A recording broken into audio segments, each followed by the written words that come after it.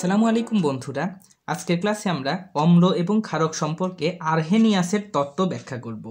তো বিজ্ঞানী আর্হেনিয়াস আঠারোশো সাতাশি সালে অম্ল এবং ক্ষারক সম্পর্কে একটা মতবাদ দেন, অর্থাৎ কীভাবে আমরা অম্ল এবং ক্ষারক চিনতে পারি। তো অম্লর ক্ষেত্রে বিজ্ঞানী আর্হেনিয়াস বলেছিলেন, অম্ল হবে সেই সকল পদার্থ যারা জলীয় দ্রবণে হাইড্রোজেন আয়ন দান করতে পারবে।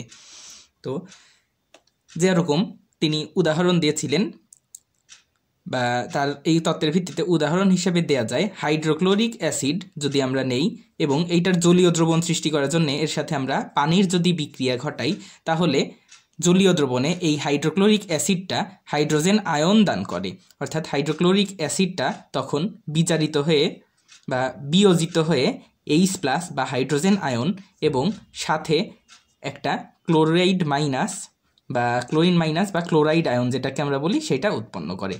এবং দুইটাই অ্যাকুয়াস বা জলীয় অবস্থায় থাকে, কারণ আমরা পানি দিয়েছি। তো এইভাবে যে সকল পদার্থই হাইড্রোজেন আয়ন দান করে জলীয় দ্রবণে, তাদের সবাইকেই অম্ল বলা হয়।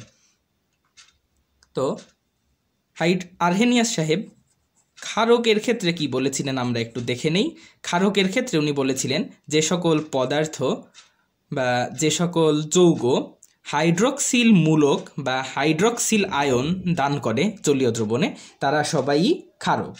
যেমন সোডিয়াম হাইড্রক্সাইড, এইটা আমরা যখন জলীয় দ্রবণে দিব, জলীয় দ্রবণে দেওয়া মানে পানির সঙ্গে বিক্রিয়া হবে। তো তখন এই সোডিয়াম হাইড্রক্সাইডটা সোডিয়াম আয়নে বিয়োজিত হবে এবং হাইড্রক্সিল আয়নে বিয়োজিত হবে। দুইটাই হবে জলীয় দ্রবণ অর্থাৎ অ্যাকুয়াস সলিউশন কারণ আমরা পানি দিয়েছি। তো এই যে সোডিয়াম হাইড্রক্সাইডটা একটা হাইড্রক্সিল আয়ন দান করে, এই জন্য সোডিয়াম হাইড্রক্সাইডটাকেও আর্হেনিয়াসের মতবাদ অনুসারে আমরা ক্ষারক বলতে পারি।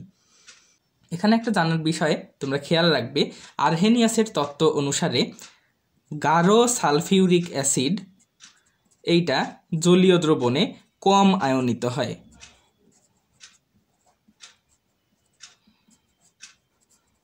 আর লঘু সালফিউরিক অ্যাসিড,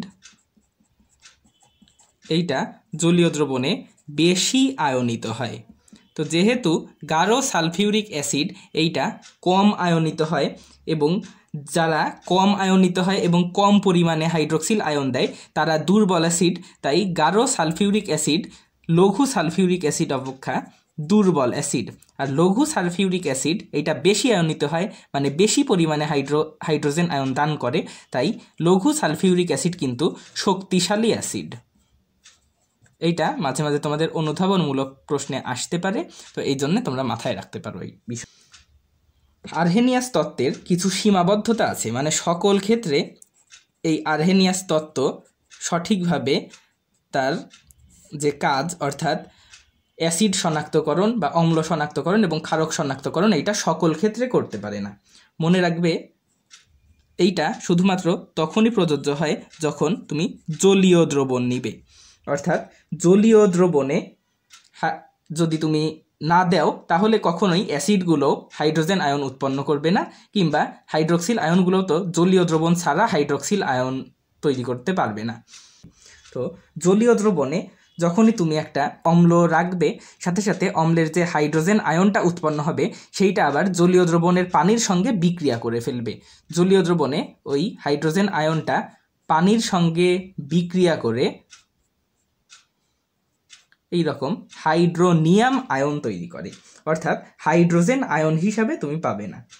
অর্থাৎ মুক্ত হাইড্রোজেন আয়নের অস্তিত্ব যেটা আর্হেনিয়াস কল্পনা করেছিলেন, সেরকম বাস্তবিক ক্ষেত্রে সাধারণত কার্যকর হয় না। গ্যাসীয় অবস্থায় কোনো যৌগ এটা কি অম্ল নাকি ক্ষারক এইটাও এক্ষেত্রে প্রমাণ করা যায় না। যেমন এসএসসিতে তোমরা দেখে এসেছ, অ্যামোনিয়া গ্যাস আর হাইড্রোক্লোরিক অ্যাসিডের যখন বিক্রিয়া করা হয় দুইটাই গ্যাসীয় অবস্থায়, তখন একটা টিউব ছিল, টিউবের মাঝখানে এনএইচ ফোর সিএল বা অ্যামোনিয়াম ক্লোরাইডের একটা সাদা ধোয়া তৈরি হয়েছিল। তো এই ক্ষেত্রে অ্যামোনিয়াটাও ছিল গ্যাসীয় অবস্থায়, হাইড্রোক্লোরিক অ্যাসিডটাও ছিল গ্যাসীয় অবস্থায়। তো এই ক্ষেত্রে হাইড্রোক্লোরিক অ্যাসিডটা গ্যাসীয় অবস্থায় থাকার কারণে আর্হেনিয়াস তত্ত্ব অনুসারে এটা যে অম্ল তা প্রমাণ করা সম্ভব হয় না। তো বন্ধুরা এই সব মতবাদের সীমাবদ্ধতাগুলো দূর করার জন্য উনিশশো তেইশ সালে ব্রন স্টেট এবং লাউরি নামে দুইজন বিজ্ঞানী আলাদাভাবে অম্ল এবং ক্ষারক সম্পর্কে তাদের মতবাদ ব্যক্ত করেছিলেন, যেটা আমরা এর পরের লেকচারে আরও আলোচনা করার চেষ্টা করব। তো পরবর্তী লেকচারটা দেখার আমন্ত্রণ জানিয়ে আজকে এখানেই বিদায় নিচ্ছি। আল্লাহ হাফেজ।